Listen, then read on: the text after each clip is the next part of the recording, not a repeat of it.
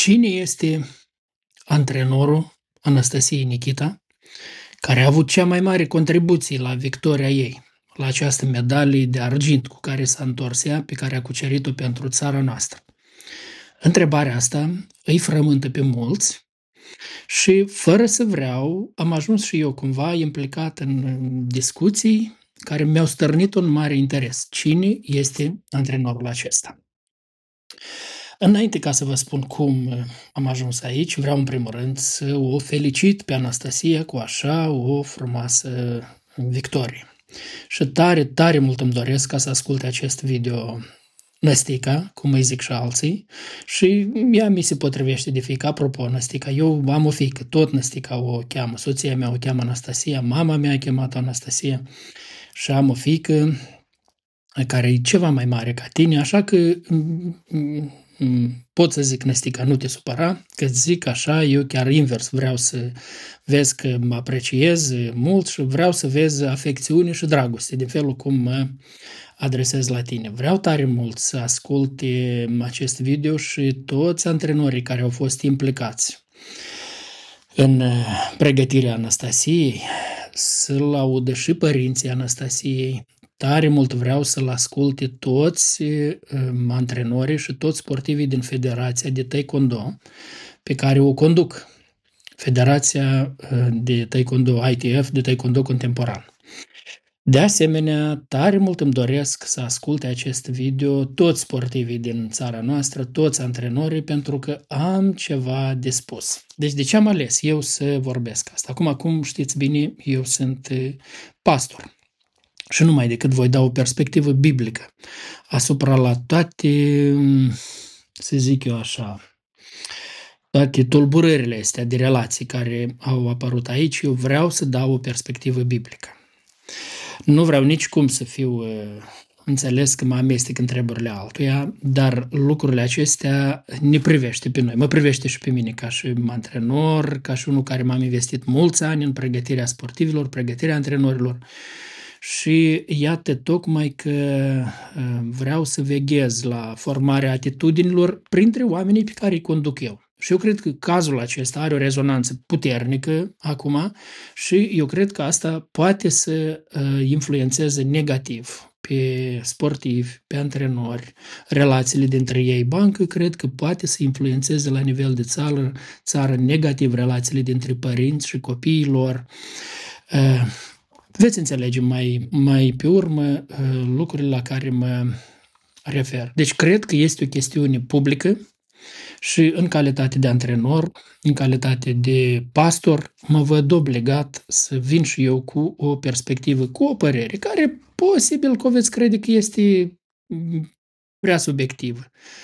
Bine, tot ce credeți că este subiectiv și nu este adevărat, lăsați la o parte.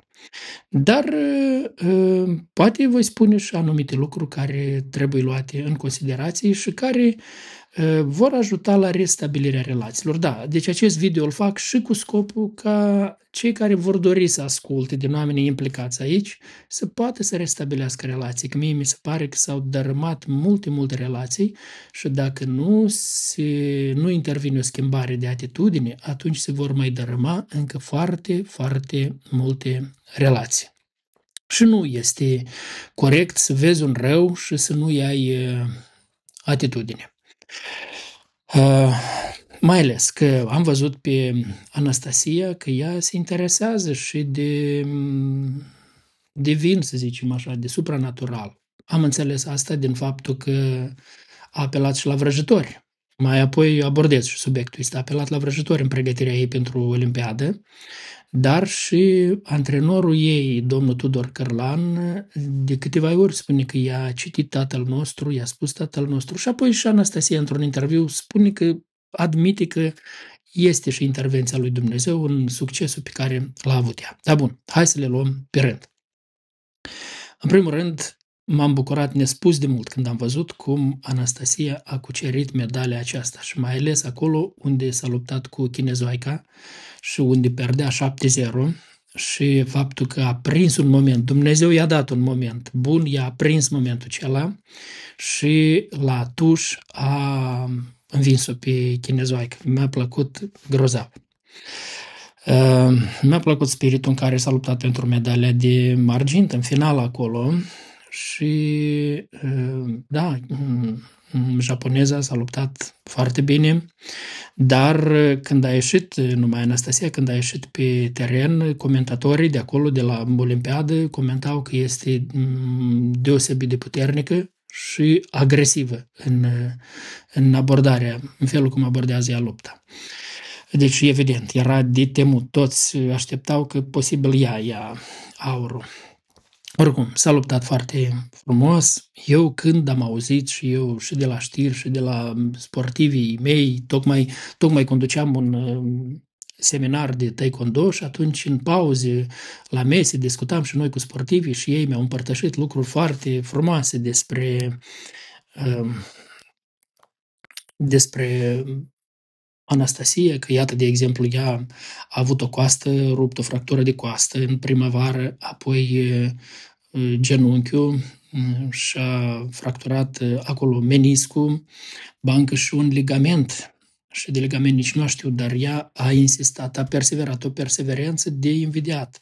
Deci un caracter puternic. Și apropo, vreau să vă zic că tocmai asta este cu Olimpiada, că la Olimpiadă se arată caracterele națiunilor. Acolo la Olimpiadă, caracter, sportivii care ies acolo, ei reprezintă națiunile, ei reprezintă disciplina, caracterele, perseverența națiunilor. Și faptul că anul acesta sportivii noștri au cucerit atâtea rezultate, ei pe noi, ca și națiune, ne-au ridicat în ochii comunității internaționale. Ei au arătat că există caracter, există perseverență, există disciplină aici și tot respectul pentru ei și mulțumirea că au făcut asta, mai ales băieții cei de la judo, grozavi, grozavi băieții cei, unul din ei am înțeles cu traume mari la mâini ceva și a luat bronzul apoi cât de frumos au știut să, să, arate, să arate respect și apreciere unul pentru altul. Și cel care a luat bronzul, băiatul cela de Hâncești, a spus că medalia asta eu dedic colegului care a lăsat să ies eu aici, pentru că am avut o înțelegere de mult și chiar dacă el trebuia să iasă, m-a lăsat pe mine. Și iată, el îi dedică medalia. Foarte, foarte frumos. Ce să vorbim? Caractere, caractere frumoase au arătat băieții de la judo și iată, Anastasia a arătat un, un uh, caracter puternic, bun. Și iată, într-o seară, când stam noi și discutam acolo la seminar, uh, am ajuns să vorbim și despre aceea că um, pregătirea fizică tot a, a jucat un rol important și eu zic bravo antrenorului care a pregătit-o fizic. Uite, în perioada asta așa scurtă a reușit cu traume, cu tot să o pregătească așa de bine. Și atunci când eu am zis vorba asta, unul din uh, discipolii mei a zis nu, nu a zis. Eh, cel care a pregătit-o, cel care pretinde că este antrenorul ei, logodnicul ei, nu este bine și nu este un om bun și a zis el mai multe cuvinte care eu nu le voi spune aici, dar i-a dat o, o apreciere proastă de tot lui. Și asta mi-a stârnit și mie curiozitatea să văd și eu ce se întâmplă, de ce este așa. Ca a doua zi chiar când m-am sculat și m-am uitat și eu la știri, am văzut eh, că o știre unde logodnicul Anastasiei, tânărul acesta cu Valeriu, Valeriu Mircea, da? Valeriu Mircea, el a vorbit despre felul cum au fost întâmpinați la aeroport. Și el s-a arătat foarte dezamăgit și supărat pentru felul cum au fost întâmpinați sportivii olimpici venind în țară. Au zis urât, foarte urât, nici într-o țară el a zis că n-a văzut să se facă așa cum s-a făcut la Moldova. Eu m-am gândit, dar de ce așa? Pentru că, din câte știu, a venit președintele țării, doamna Maia Sandu a venit chiar la trapul avionului, a venit acolo să-i întâmpine. După mine asta este o foarte mare onoare. Președintele țării a venit chiar acolo. Eu cred că este lucru de apreciat.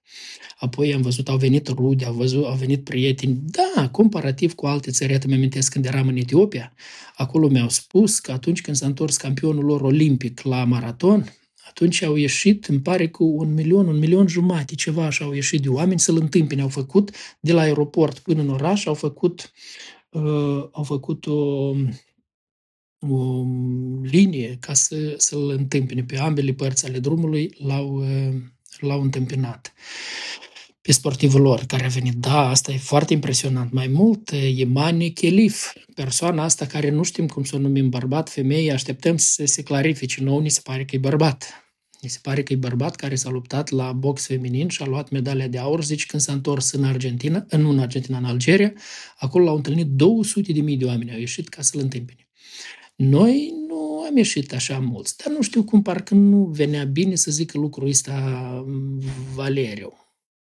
Dacă îl zicea altul, poate ieșea. Da, cred că era frumos să iasă națiune. Dar eu nu știu dacă reacția asta a lui Valeriu a încurajat mai mult poporul ca să iasă să-și întâmpine sportivii sau l-a descurajat mai mult să iasă să-și întâmpine sportivii, aflând totul mai departe ce se întâmplă. Eu însă tot m-am gândit însă la, la la cuvintele lui Valeriu, cum au fost ele spuse, mi s-a părut că lipsit de modestie, așa ca să zic. Lipsit de modestie felul ăsta. Nu poți să-ți ceri tu apreciere așa. Nu, nu le-au dat, nu le-au dat, nu ți le poți tu cere aprecierile în felul ăsta. Însă am căutat să înțeleg mai bine de ce e așa, de ce am început și eu să fac uh, căutare. Uh, da, am uitat să vă spun, tot atunci seara când discutam noi despre mm, asta, mi s-a spus că adevăratul antrenor este un altul. Eu n-am reținut atunci numele Sara. Mi-a spus că este un alt antrenor care a antrenat-o pe Anastasia în toți anii, a ridicat-o la, la nivelul ăsta olimpic, la nivel internațional, a cucerit multe medalii cu ea și iată zice, dar antrenorul acela zice că el a fost respins, un conflict, a fost învinuit că ar lua bani, că nu știu ce ar face și uite, nu mai are Anastasia nu mai are, nu mai are ca și antrenor, deci a fost întrerupt. Și antrenor este, este acest logodnic al ei, Valeriu, și așa că un alt interes ar fi că ei iau banii ăștia olimpici, iau ei ca și familie, să rămână lor ca și familie. Ea ca și sportivă a primit și, apropo, apropo, toate aprecierile guvernării noastre, că uh, au apreciat eforturile acestea și i-au dat Anastasiei și le-au dat la toți olimpicii noștri, le-au dat uh, aprecierea cuvenită și la antrenori le-au dat aprecierea cuvenită. Dumnezeu să-i binecuvânteze pe cei care sunt și este un lucru care trebuie să-l apreciem, că eu nu mi-amintesc guvernările de altă dată să mai fi făcut uh, lucrul ăsta. Și asta înseamnă foarte mult să arătăm apreciere față de sportiviști care, vă zic, au ridicat națiunea. Uh, felul cum suntem noi priviți ca și națiune după mm, victoriile astea, ele sunt e cu totul diferit apropo, deci noi, o țară mică, am luat aproape tot atâta, uh, am cucerit aproape tot atâta ca și India la Olimpiada asta. Aia înseamnă foarte mult. Uh, bun. Uh, deci, între timp, când am, după ce am privit știrea asta, Ionel Ilescu mi-a trimis un video. Mi-a trimis un video unde domnul Tudor Cârlan, cel care este principalul antrenor Anastasie, eu nu știu dacă el este primul, posibil că nu e primul, nu știu dacă acolo în Tătărești, în satul ei, el a început să ducă antrenamente. Dar de la știre am aflat că omul acesta a antrenat-o timp de 10 ani timp de 10 ani și cel puțin 25 de medalii numai la competi- campionate de astea mm, europene și internaționale a luat mm, Anastasia sub mm, conducerea acestui om. Deci, evident, omul ăsta are o foarte, foarte mare implicare în viața ei. 10 ani asta nu-i șaga, asta nu este și atunci am ascultat interviu. Apropo, toate linkurile astea, ele sunt în descriere. Vă rog să vă uitați în descriere la video, deschideți-le și dumneavoastră, ascultați-le pe toate. Eu le-am ascultat și vreau să vă spun, după ce am ascultat interviul cu uh, domnul Tudor Cărlan, am rămas profund impresionat de felul cum a răspuns omul ăsta. Evident, el este disprețuit, a fost disprețuit, el a fost rănit profund. Eu m-am pus în locul lui, ca și antrenor. Am experimentat și eu așa, din partea unor ca pentru care mi-am dat viața, mi-am, m-am făcut tot ce am putut. Și iată, ei n-au răspuns așa, au răspuns cu, cu rău, au răspuns. Dar așa că eu cumva m-am pus în rolul lui. Însă Felicitări, domnul Tudor Cărlan, dacă ascultați acest video. Apropo, tare mi-ar place să vă întâlnesc o dată față în față, să vă strâng mâna, să stăm la o cafea.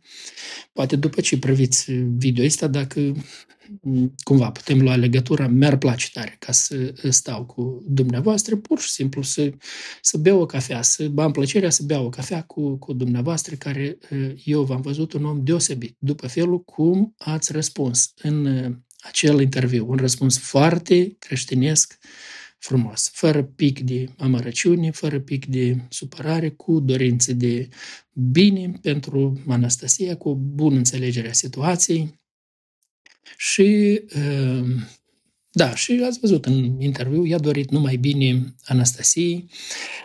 Alt lucru am mai aflat la știri. Făcând căutări, am aflat că pentru anul 2023 Federația Europeană de Lupte Libere i-a decernat titlul de cea, cea mai bună sportivă Anastasiei și de cel mai bun antrenor domnului Tudor Cârlan.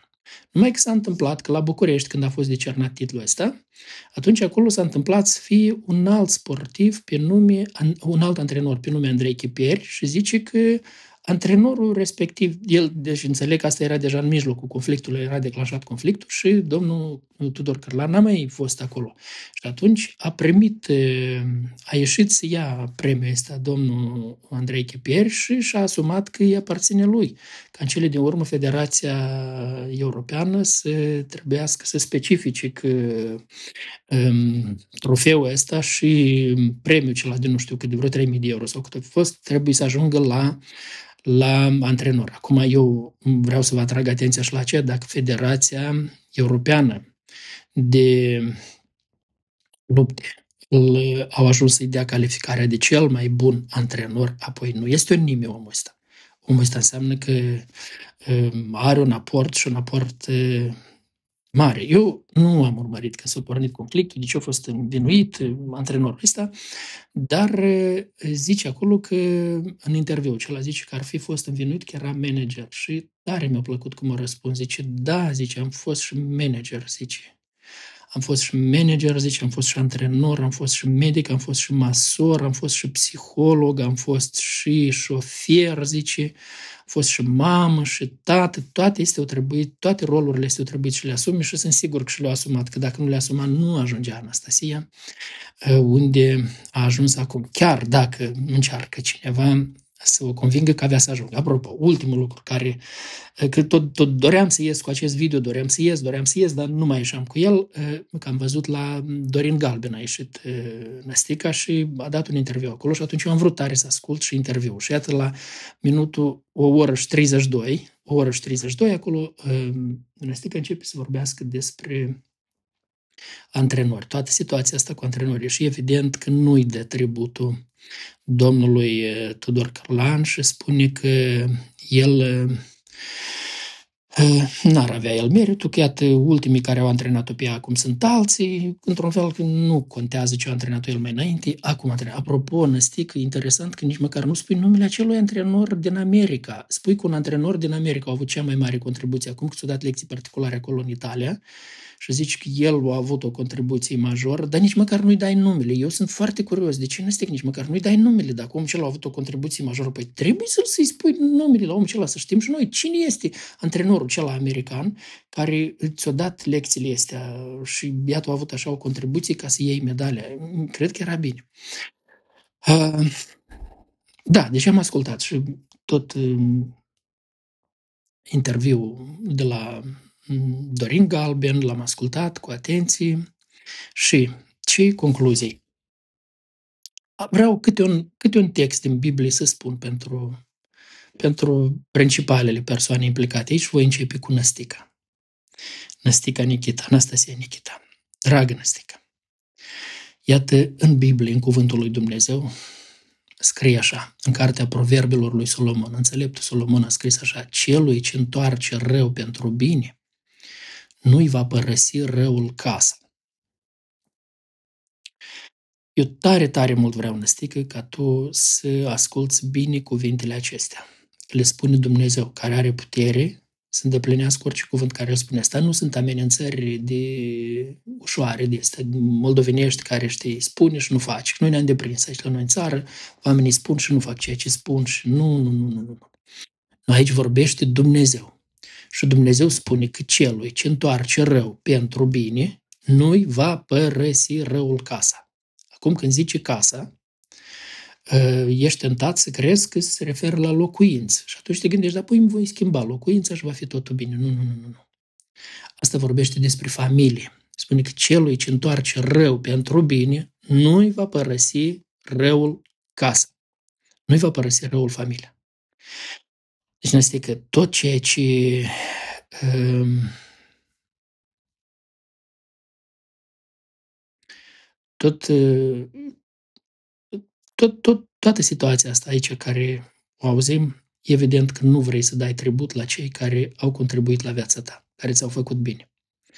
Acum înțeleg, tatăl tău v-a părăsit, a ajuns un alcoolic și e greu să vezi binele care ți l-a făcut tatăl tău.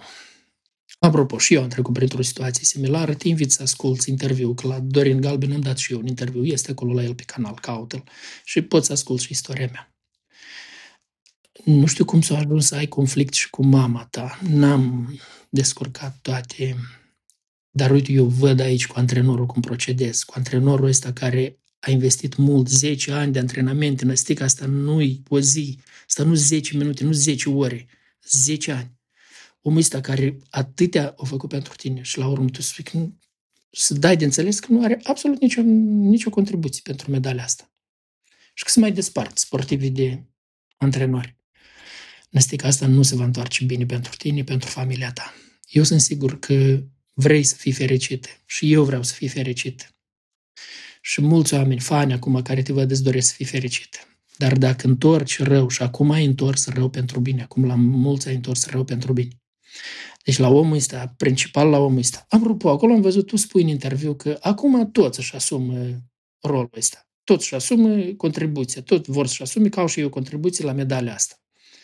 Că inclusiv și educatoarea din sat. Da, nu este că și educatoarea aceea din sat și are contribuția ei. Toți își au contribuția. Și de ce tu te temi să împarți asta? Tocmai este un prilej să le spui. Da, exact.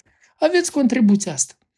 Aveți contribuția asta, uite, și educatoarea și vă mulțumesc, m-ați educat și v-ați îngrijit de mine când eram copil și voi, profesorii de la școală, m-ați învățat și voi acolo și fiecare aveți o contribuție. De ce să nu le dai posibilitate să se bucure toți? Dar tu nu recunoști contribuția majoră care a avut-o omul ăsta, care a avut-o el ca să te pregătească în aici. Deci, iată, tu zici că aveam simțământ de pe avion că nu va veni antrenorul tău. Eu cred că acum era tocmai cazul să mergi tu la el. Avea așa un prilej bun, Năstică, să mergi tu la el.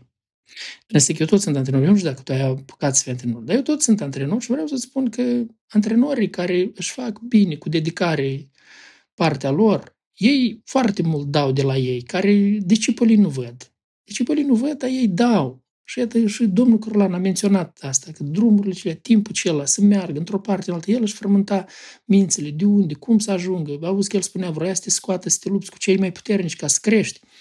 Și iată, omul ăsta a investit mult. Ce frumos era Năstică dacă acum, din tot câștigul, din tot premiul ăsta care ți l-a dat, primul om la care mergeai era să te duci la domnul Tudor Cărlan și să faci din asta un lucru frumos, o apreciere frumoasă să-i chem pe toți colegii, pe toți sportivii, să organizeze o masă frumoasă și el să creadă că îl inviți numai pe el la masa aceea. Și când va intra în sală să-l vadă toți acolo. Și uite, acolo tu, măcar 10.000 de euro să-i fi dat lui din câștigul ăsta care l-ai tu acolo. Să-i fi pus lui 10.000 de euro. Și păi pentru fiecare an care m-ați antrenat dumneavoastră, vreau și eu aici să spun câte 10.000 să vi dau dumneavoastră și să vă arăt că am respect și apreciere pentru ceea ce ați făcut, pentru investiția care ați făcut-o. Și este că cel care pune temeliile, a pune temeliile la ceva este cel mai greu. Tu poate n-ai fost antrenoară, dar ești, eu cred că nu ești tu atât de naivă ca să nu înțelegi că cel care, care pune temelii, pune, pune bazele la ceva, deci iată, cel care te-a învățat temeliile, ăsta e elementarul care te-a învățat, asta e cel mai greu, cel mai greu lucru care, care se face. Și cred că era foarte frumos dacă făceai. Acum, știi că este cazul când tu trebuie să vii la el și să-i aduci tributul. Și tot așa cred că este cazul. Am înțeles că vrei să mergi la mama ta în Italia. Când a venit nici mama să te întâmpi, am înțeles, mama ți-a pus numai o felicitare. De ce se întâmplă asta, Năstighi? De ce așa de relațiile se dărâm într-o parte, în alta, în a treia? Te împedică cineva, te oprește cineva? O fi Valeriu. Valeriu e cel care te împedică să... Sau el te-a dus acolo că tu dărâm relațiile acolo așa la... Nu știu, puneți întrebări. Puneți întrebări năstică, dar pe antrenorul ăsta eu cred că acum ai, ai un foarte bun prilej ca să ca să îți arăți caracterul tău, frumusețea caracterului și apreciere pentru el. Uite cu medalia asta. Tu singur ai spus. Când ai luat medalia, spui că ai, ai realizat visul. Toată lumea se bucura, dar tu pe urmă asta e tot. Asta e tot. Și uite, acum este discuții cu privire la medalia ta. Dar crede-mă, Năstie, că peste un an de zile nu știu câți își vor aduce aminte de tine. Vor mai trece vreo 2-3 ani, cât, cât își vor aduce aminte de medalia care ai luat-o tu. Dar iată omenia, dacă faci niște fapte frumoase. Eu nu țin minte exact cum era numele acelui uh, notător rus, sovietic, sovietic. Nu mai știu, la Olimpiadă îmi pare cea care a fost la Rio de Janeiro sau nu știu când, prin anii, în secolul trecut.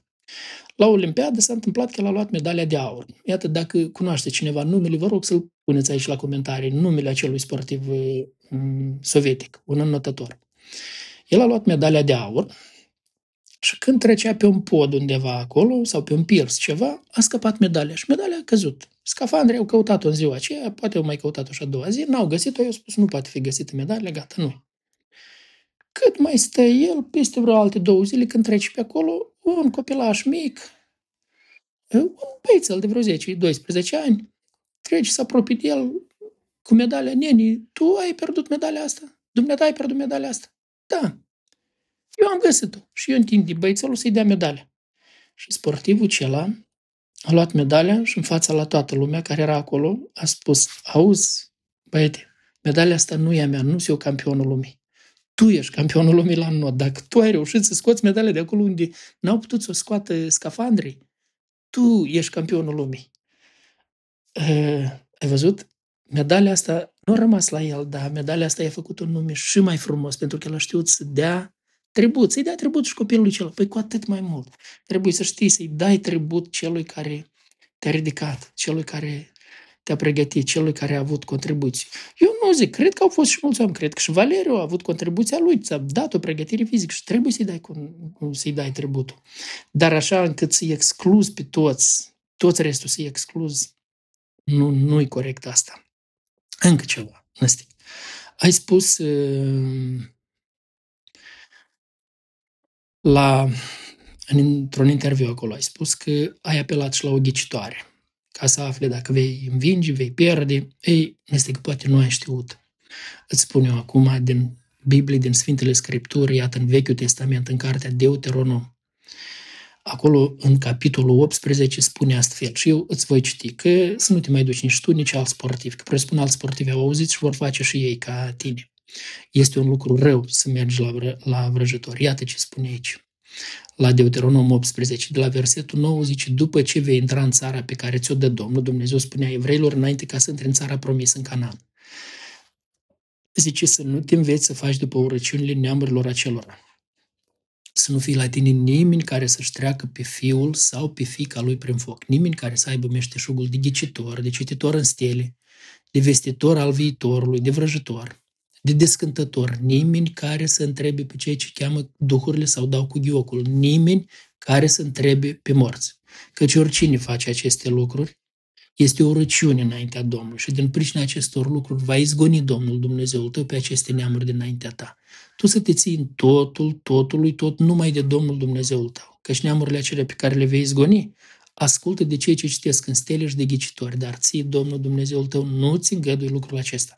Deci mersul la vrăjătoare, ascultatul de vrăjătoare și așa mai departe, este un lucru rău și foarte grav înaintea lui Dumnezeu. Și este un păcat de care trebuie să te pocăiești și tu și toți cei care vor asculta acest video, care ascultați acest video și ați mers să-ți apelat la ghicitori. Și bineînțeles toți ghicitorii să se pocăiască de păcatele acestea și să se întoarcă din toată inima la Dumnezeu. Un alt lucru care este rău care lumea nici nu-l mai observă, nici nu vede că este rău. Iată, voi vorbiți deschis despre ceea că voi trăiți în concubinaj. În, da, Dumnezeu nu schimbă lucrurile. Dumnezeu este același ieri, azi și în veci. Ceea ce a stabilit El este așa și așa funcționează totdeauna. Și iată în epistola către evrei, la capitolul 13, versetul 4, spune așa, căsătoria să fie ținută în toată cinste și patul să fie nespurcat, căci Dumnezeu va judeca pe curvari și pe preacurvari. Relațiile sexuale sunt drepte, corecte, sfinte și curate înaintea lui Dumnezeu doar în cadrul căsătoriei. În afară, ele sunt curvie și sunt prea curvii și iată spune aici Dumnezeu că El va judeca pe curvari și pe prea curvari pentru uh, felul ăsta cum procedează. Așa că este un alt lucru care va aduce consecințe grave și eu ca și slujitor al lui Dumnezeu uh, mă văd dator să-ți spun asta, ca și creștin să-ți spun lucrul acesta. Iată, vreau să zic că fac lucrul ăsta totdeauna, când văd că pot să le fiu de ajutor oamenilor. Uite, azi l-am văzut pe un om care avea scris pe maiou God save the gin. Doamne, salvează rachiul. Și eu m-am apropiat, am făcut cunoștință cu el și el, i-am zis, nu te superi dacă o să spun ceva foarte important pentru tine. Nu, nu mă supăr, spune Zic, uite, inscripția asta care o ai aici este o luare în deșert a numelui lui Dumnezeu. Și a treia poruncă din decalog a treia poruncă din cele 10 spune așa, să nu iei în deșert numele Domnului Dumnezeului tău, căci Domnul nu va lăsa nepedepsit pe cel ce ia în deșert numele Lui.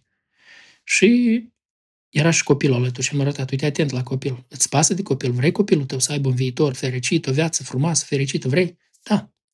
Atunci ai greș cum te porți și ă, așa nu mai fă. Trebuie să te pocăiești și așa nu mai fă, așa aruncă mai eu ăsta. Nu purta astfel de mai Asta e, asta e grav, e extrem de grav. Bun. Asta e ceea ce am vrut să spun, este că vreau acum să-i vorbesc domnului Tudor Cărlan. Domnule, încă o dată, să știți că mi-ați dat o lecție. Mi-ați dat o lecție prin felul cum ați răspuns în acel interviu, prin faptul că nu ați lăsat să intre amărăciunea în inimă și continuați să vă faceți slujba mai departe. Uh, am rămas mișcat profund. Și iată, În Biblie, în cartea, în epistola către evrei, este un verset care spune așa, aduceți-vă aminte de mai marii voștri care v-au vestit cuvântul lui Dumnezeu. Uitați-vă cu băgare de seamă la sfârșitul felului lor de viețuire și urmați-le credința. Ei, evident că acum ați fost supus și dumneavoastră la un test puternic. Dar felul cum ați răspuns până aici, din ceea ce știu eu, vă spun, poate fi subiectiv, poate fi foarte subiectiv tot acest video meu, că eu nu știu toate de desubturile. Dar din ceea ce am văzut și din ceea cum văd că răspundeți, mi se pare că mi se pare că sunteți un om din înaltă calitate. Și mă rog Dumnezeu să vă ajute să îl cunoașteți pe Domnul Isus mai mult. Și tare, tare mult vă doresc să vă nașteți din nou. Că Domnul Isus Hristos a spus că dacă un om nu se naște din nou, cu niciun chip nu poate vedea și nu poate intra în împărăția cerurilor. Mie mi se pare că sunteți un om interesat mult de lucrurile sfinte, interesat de Dumnezeu, mi se pare că sunteți un om care citiți Biblia. Am văzut în interviurile dumneavoastră, spuneați că tare mult doreați să fiți alături de Anastasia, să spuneți Tatăl nostru pentru ea înainte de a ieși la luptă, ceea ce înseamnă că așa ați făcut totdeauna. Mi se pare că sunteți un om care îl căutați pe Dumnezeu. De altfel, și un motiv de ce aș vrea să ne întâlnim cu dumneavoastră, că dacă veți fi dispus, aș vrea să vă vorbesc mai mult despre nașterea aceasta din nou, ce înseamnă, ce înseamnă ea. Și Dumnezeu să vă dea mângâiere, să vă dea credință, să vă ajute să ridicați discipoli și Dumnezeu să vă dea bucuria de a vedea discipoli care rămân integri, care în, atunci când au succese, când rămân integri, rămân recunoscători și care nu se lasă nici manipulați, nici înrăiți, nici nimic. Oameni care rămân integri și să păstrați o relație frumoasă. Să vă bucurați de cei cât ați spus acolo în interviu. 45 de băieți erau în sală.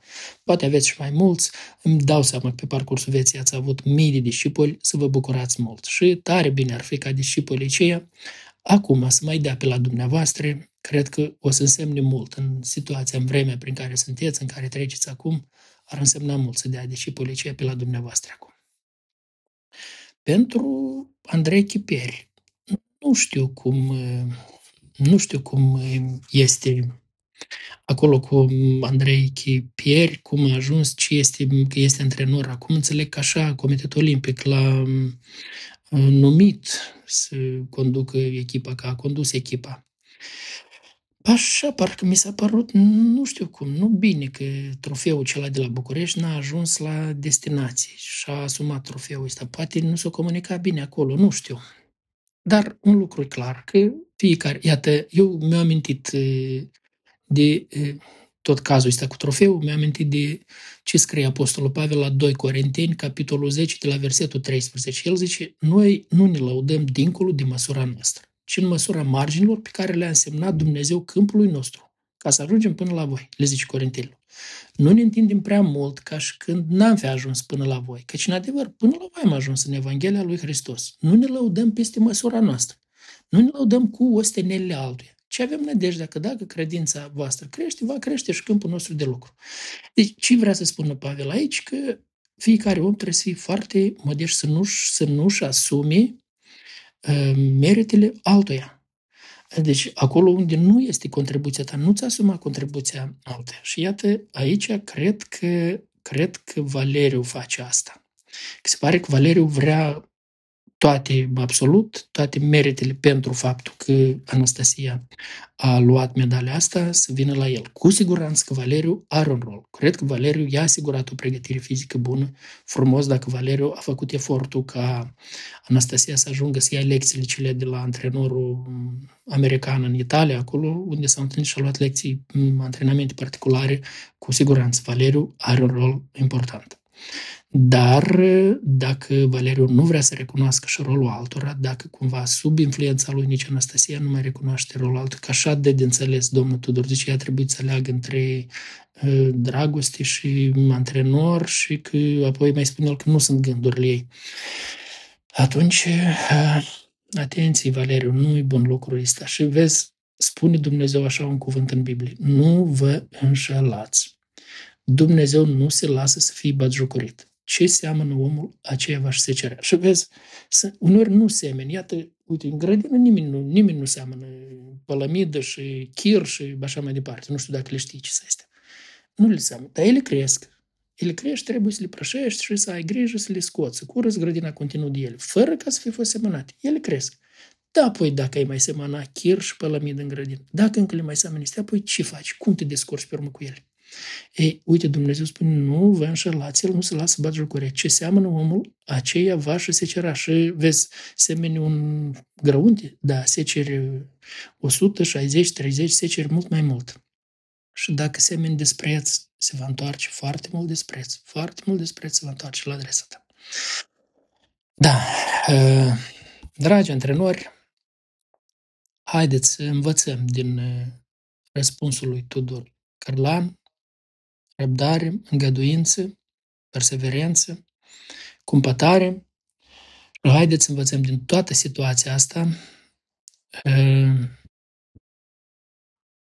cum să procedăm așa ca să nu se răspândească astfel de atitudini. Și eu cred că toți antrenorii trebuie să organizăm o discuție, fiecare antrenor trebuie să organizeze o discuție, să aibă o discuție cu discipolii lui, ori în sală, ori la o cafea, ori la o pizza undeva, tot cazul ăsta trebuie discutat, pentru că dacă el nu este discutat, atunci, vedeți, lucrurile reale, ele sunt foarte molepsitoare și atitudinile astea pe care acum și Anastasia și Valeriu le promovează foarte și poate undeva și Dorin galben, fără să-și dea seama că Dorin la un anumit moment i-a spus, da, până la urmă ce sportivul hotărăște, nu antrenorul, nu, Dorin, nu e chiar așa. Eu știu că tu, Dorin, ai făcut fotbal, da, crede-mă, eu sunt antrenor și vreau să-ți spun că antrenorul are un foarte, foarte mare rol în viața unui sportiv și nu poate fi diminuat rolul ăsta.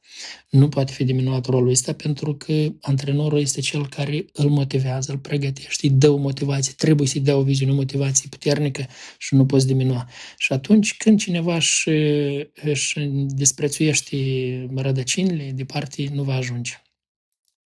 Ei, și bineînțeles, ca și antrenori, să îndreptăm greșeli. Acolo ne-am făcut greșeli, să le îndreptăm acum.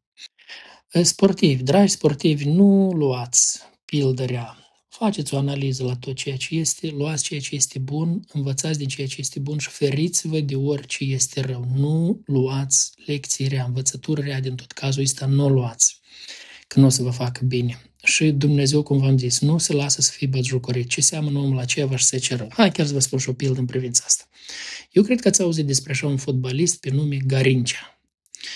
Iată, toți îl știu Pele. Pele este regele fotbalului. Dar tot în vremea aceea, cu Pele în echipă, a mai fost un fotbalist cu, nume, cu numele Garincea. Și Garincea asta, el avea un picior mai scurt decât altul, dar era un maestru a driblajului. Deci ăsta putea să dribleze și să ajungă să, să bată golul. Deci era fantastic, pur și simplu era fantastic joaca lui era un spectacol. Faceți o căutare pe YouTube și veți vedea, Garincea. spuneți să vedeți cum, cum lucra el.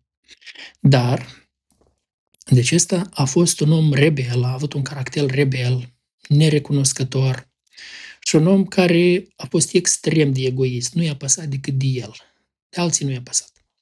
S-a căsătorit cu o fată de 16 ani, îmi pare că i-a făcut șase copii cu fata aceea și curvea la stânga și la dreapta. Ă, n-avea niciun control, bea, bea mult. Ă, o divorțat de ea, s-a căsătorit cu alta, cu o vedetă, nu știu ce, o artistă, vedetă.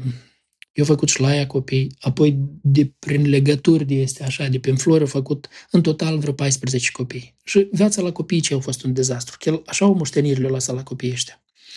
Și uh, s-a întâmplat, duc în timp ce el făcea toate astea, v-am zis, Dumnezeu nu se lasă să fie bagiocorit. S-a întâmplat o traumă la un genunchi, o traumă la un picior. Trauma asta nu i-a mai dat voi. El tot credea că o să iasă, o să fie bine. Nu, după trauma aceea, gata, el nu a mai putut să mai fie. Trauma aceea l-a dus în jos. El a început să bea tot mai mult și mai mult și, ca să vă închipuiți, a ajuns până acolo. Așa un bețiv era de care pe sub garduri gata, au dispărut, nu mai știa nimeni ce cu el. El era un bețiv care stătea pe sub gardul și el nici nu avea cu ce să-și cumpere de băut. Și el venea la crâșme și se apropia de bețivii de acolo și spunea, hei băieți, hai băie, pentru garincea, puneți 100 de grame. Și Garincea putea să-i dea un picior în fund cineva, să-i dea o jlipă și să-l scoată afară, că nu, nu, nu-l credea. Cum Garincea să ajungă așa ceva? Cine te crezi? Și l-au la bătut. Nu-l recunoșteau acolo. Deci el cerea, el se folosea de numele lui ca să poată câștiga 100 de grame să, să bea și să alegea cu, cu o bătaie și era scos de acolo. Iată așa de disprețuit a ajuns Garincea. Nu mai era dispărut Garincea. Când a murit Garincea, atunci și-au amintit toți cine a murit. Și cred, se pare că nu mai fost în mormântare cu atâta lume, atâta lume să iasă la înmormântarea lui. L-au înmormântat, l-au petrecut, au dat denumiri de stres, nu știu ce a făcut de așa și-a trăit el viața omului ăsta. Și apoi, cei 14 copii, viața la cei 14 copii a fost un dezastru viața la cei 14 copii, la toți, toți, foarte mult au, au avut de suferit de la cei care au copiii lui Garincea. Ar fi trebuit numele bun a tatălui să le lucreze bine, să le facă bine, le-au făcut rău numele, numele rău a tatălui lor, cum în umbra numelui rău a tatălui lor și lor le-a fost uh, rău. Iată cu ce s-a ales. Hai să scoatem toți lecții din situația asta și hai să îndreptăm acum cât se poate de îndreptat. Năstică, nu e prea târziu, poți multe lucruri să faci. Uite, dacă vei asculta, eu ți-am vorbit așa ca la o fiică. Nu știu, cred că tu cu tata tău n-ai avut niciodată posibilitatea asta. Eu ți-am vorbit în video ăsta așa ca la o fiică. Cum aș fi vorbit la fiica mea? Ce m-aș bucura, năstic, să asculți de bunul sfat pe care ți-l dau eu? Să te așezi, să-ți faci o listă cu oamenii care te-au ajutat pe tine să ajungi până aici și să-i dai tributul fiecăruia. Dă-i tributul fiecăruia, năstic, de la asta îți va fi bine. Nu întoarce năstică rău pentru bine, întoarce bine pentru bine, în măsura în care poți. Și acum ai capacitate. Dacă altă dată nu aveai capacitate, acum ai capacitate ai capacitate, poți face și un cuvânt de tău înseamnă mult. În loc de toate video astea ieftine pe care le-ai început tu să le faci, care cumva nu te reprezintă pe tine video astea ieftine pe Instagram și pe rețele socializare, nu, nu ești tu. Tu, tu, tu ești luptătoare, ești sportiv, trebuie la nivelul ăsta să fie și videoele tale, să dai video despre sport, despre zidire de caracter, iar despre ce, cum ai putut tu să învingi și să, să ieși acolo cu, cu în ciuda traumelor care le-ai avut, să devii campion persoană. Ui, despre asta. Dar nu de astea ieftine. Dar mă gândesc ce impact năstică va avea pentru toți urmăritorii tăi, pentru toată țara, că țara întreagă are ochii pe tine acum. Ce impact va avea asupra lor să vadă ei cum tu dai tribut, cum tu dai tribut, dai apreciere, tu întorci binele care ți-a fost făcut, răspuns cu bine la bine și cum toate relațiile astea se fac frumos. A, Năstică va avea un impact. Nu știu dacă te va lăsa Valeriu să faci asta. Domnul să-i dea înțelepciune și lui Valeriu să îți dea voie să faci asta și tu să ai hotărârea ta ca să, să faci bine, să faceți bine împreună și să zidiți relații. Că a dărâma relațiile nu e greu. A zidi ceva e foarte greu. Dumnezeu să vă ajute. Și toți noi să avem grijă, să nu întoarcem rău pentru bine. Că celui ce întoarce rău pentru bine, răul nu-i va părăsi nici când casa. Să ne ferim. E un mare pericol.